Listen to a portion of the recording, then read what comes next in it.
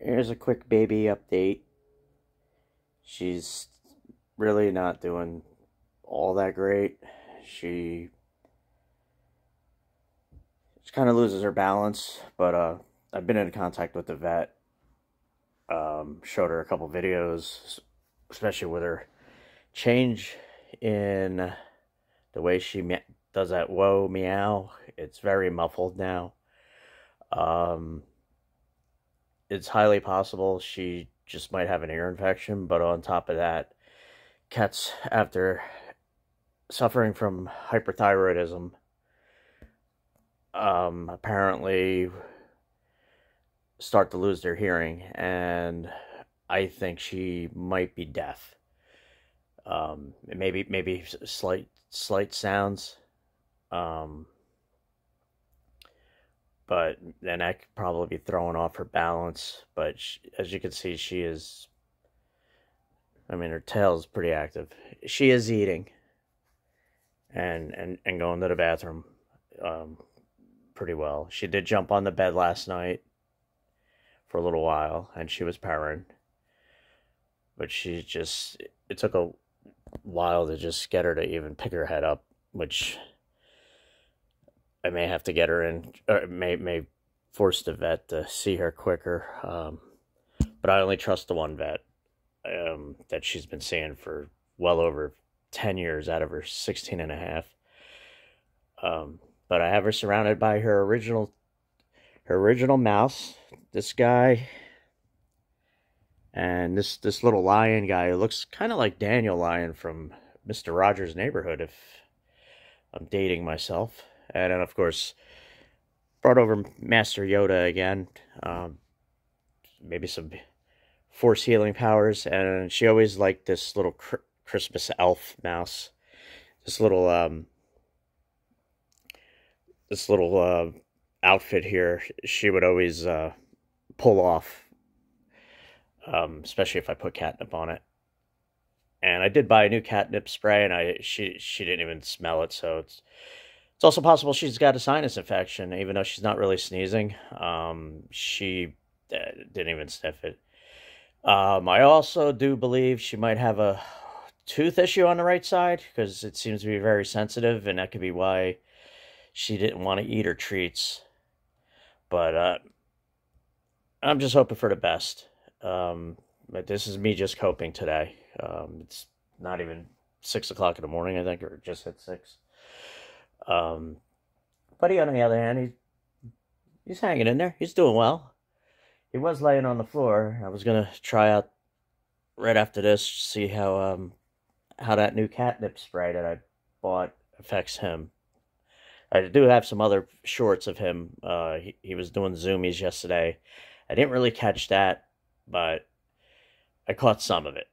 So I don't know how good that's gonna look, but I just wanted to give an update on baby. Um, we all are praying and hoping things will work out. But you know, as, as they get old, you know, and especially especially baby with her special needs, with with the thyroid, possibly other things.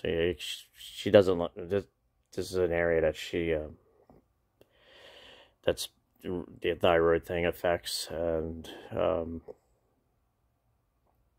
I'm at a loss for words right now. Um, you know, everybody's who's who's had pets, you know, go possibly go through this. You know, I'm still hoping for the best, but um, if you know the worst happens, uh, I'm intending on either way. Um, I downloaded some software that that will merge videos, so I'll I'll be making a compila- compilation of baby videos that, that all, all of her videos, um, either with her or, or with Buddy, because some of those are great moments, um, all together into one. Um, and not for a while, because uh, I kind of want to get them in order so they look good, and I don't know how to use that software yet. Um, and I don't know what else. Um, I'm gonna try to get this up online shortly, um, and, and rush this one, but keep the well wishes coming and hope for the best. I mean, yeah, um, I mean, I could yell right now, and I don't think she'll hear me. Like,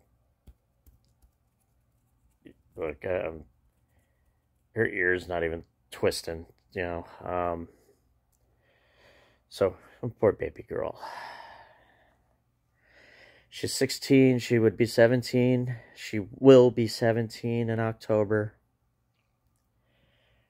I mean, not many cats do make it that far, but I mean, they do live till over 20. But, you know, this little girl, she's put up a fight for well over five years with the hyperthyroid. And if she didn't, she didn't run away for two weeks back then, and I never caught her, um, she, she would not be in these videos. Um, the only thing I feel bad about is, I mean, outside of this, is I wish I would have started that YouTube channel 10 years ago, you know, when, because I, I lost a lot of other videos with, with a hard drive crash, and, and there's a possibility I have had backups, I'm sorry, baby, had backups on, um, DVD or a CD. Um, I have to go through a bunch, and right now I'm not in that frame of mind, especially with other things in my personal life. But um, sorry for rambling, um, and sorry for this sort of a somber video, but um, like I said, hope for the best. Try to get her in sooner. Dr. Quaz is a very good vet. Um, and and I, it's going to be a shout out to my mom right here too. Um, when when I had Pippin, and then there's only one video of him on on the uh, YouTube on the YouTube channel. Um, it's it's one of the earliest ones. I think I posted it like four or five years ago, uh, but it was from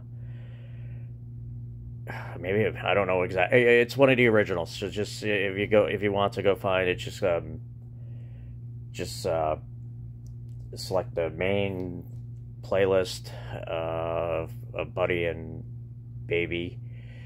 And if it can be sorted by date, or just scroll all the way down to the bottom, uh, one or the other. It's uh, I, I had found it after he had passed away, but it was him playing. Um, it's kind of short, but you can see how the similarities between him and him and Buddy are. Uh, they were big cats, and uh, uh, I had to bring my mother to the vet with me that day when we knew. And unfortunately, baby being sick, and today's July 2nd, um, I, I let Pippin go on July 3rd. So, um, just knowing that it's possibility that they both go on the same day hurts. Um, anyway, I, I need to stop this now. Uh, thank you all for watching.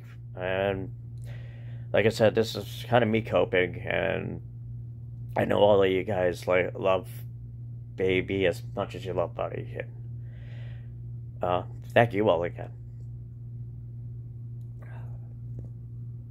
It's okay, baby.